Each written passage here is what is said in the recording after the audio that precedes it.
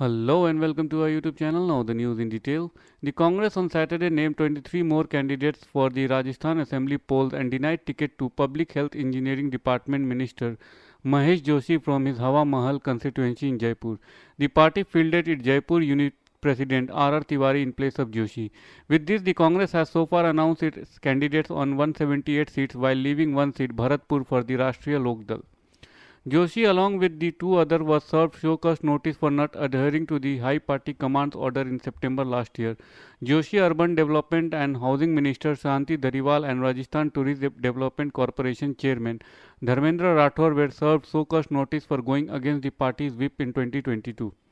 Dhariwal and Joshi along with the Minister Pratap Singh Khachariyawas has held a meeting at Dhariwal residence with the MLA supporting Minister Gehlot and opposing a change of guard in favor of his bête noire Sachin Pilot. The 200 member Rajasthan Assembly will go to polls on November 25th and the counting of votes will take up on December 3rd. That's the end of the story. If you like the content of our video, please do hit the subscribe button, share it with your families and friends and do not forget to post a suggestion in the comment section below. Thank you. Have a great day. Bye bye.